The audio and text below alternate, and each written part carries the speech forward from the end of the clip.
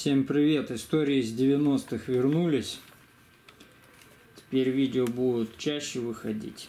И сегодня я вам расскажу вот об этой видеокамере. Она не совсем для меня из 90-х, но экземпляр интересный. В общем, по-моему, полтора года назад меня спросили, могу ли я перекодировать видеозаписи с кассет э, мини, не мини DV, а 8 миллиметровая кассета, которая раньше использовалась у Sony. Это вот такие кассеты 8 миллиметровые. Вот они. Еще есть ТДК кассетка. Они были 60 минут, но в основном были по 90 минут. По 120 минут были. Вот это ТДКшка 90 минут. А вот эту Фуджи, которую я показывал, она как раз 120 минут. И точно так же можно было длину времени увеличивать, если выставляли play на аппарате скорость LP. Кассета точно такая же, похожа на обычные видеокассеты. Также открывается, здесь рычажок вниз отпускаем, и вот она пленка. Вот. Короче, меня попросили вот с таких кассет оцифровать. Я начал искать, э, да, и у меня, когда мне было 15 лет, по-моему, 94 год, а может быть и 95 16 лет, э, мы купили видеокамеру Sony Handycam. Где она сейчас, я не знаю. Может быть, она сломалась или, может быть, ее продали. Точно не помню. Тоже формат был 8-миллиметровый. Камера была дорогая. В общем, я ее начал искать и не нашел следов, куда она делась. Так и осталась загадкой, что же с ней случилось. И я полез на Авито искать, кто делает оцифровку с кассет. Ну, что-то меня там не устроило, и я решил сделать это самостоятельно. Начал искать, кто продает такие видеокамеры старые.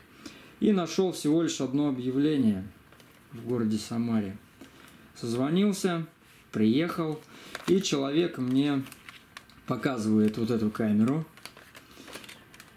А я уже отвык, как они выглядят. Она кажется такой здоровой-здоровой по сравнению уже с теми камерами, которые после шли. Это где формат мини-DV используется. И он говорит, что видеокамера будет стоить мне тысячу рублей. Я согласился. Рассказал он о ней следующую историю. Это настоящая японская камера, купленная в Японии. У того человека отец был моряк и плавал, ходил по морям, то в один буржуйский порт, то в другой. И оттуда привез вот эту камеру.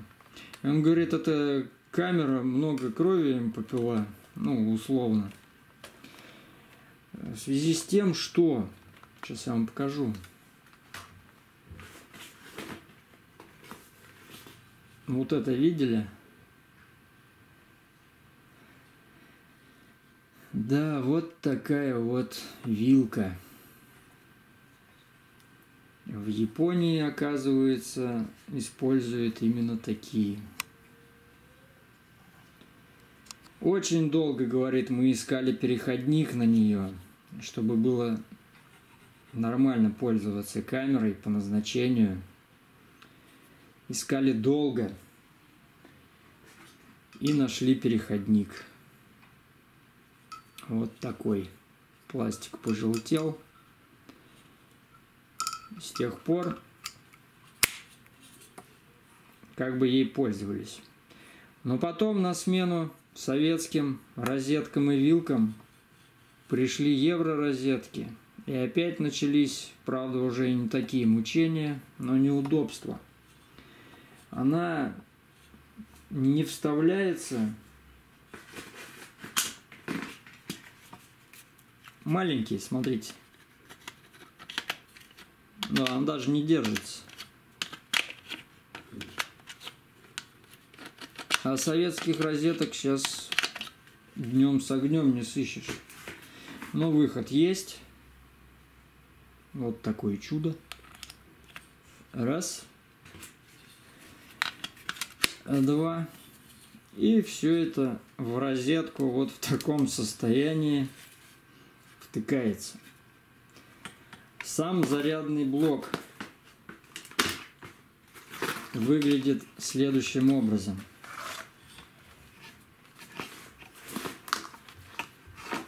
Сетевой кабель.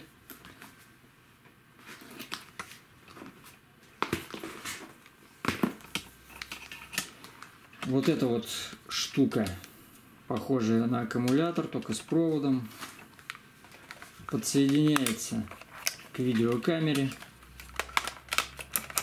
Вот таким образом. И вы снимаете от сети. Здесь есть рычаг выброса аккумулятора или вот этой штуковины. На самом блоке зарядном э, сделано все как и положено в Японии. Здесь вот даже написано Sony Corp Made in Japan.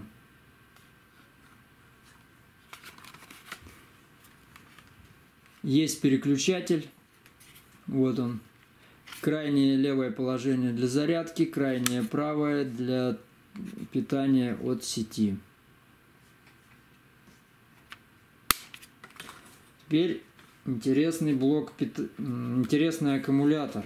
Не знаю, я уже заметил после покупки, родной он или не родной, скорее всего не родной, потому что написано название MP Mega Power и он универсальный. Если посмотреть на обратную сторону, контакты расположенные сверху и снизу, здесь вообще их три – Почему так? Да потому что его можно использовать, вот смотрите, э, для видеокамер Panasonic, GVC, Olympus и другие, те, которые подходят.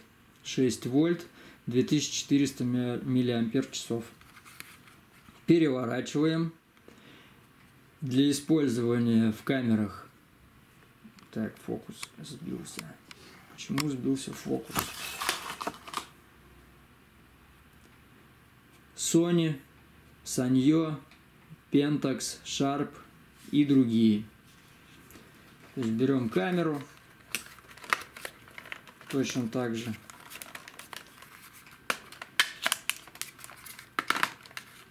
Нужной стороной. Где у нас Сонька-то?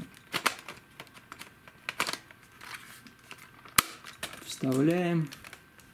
Вот такая большая бандура. Этим аккумулятором можно кидаться, как Nokia 3310. И снимаем. Также извлечение идет. И для зарядки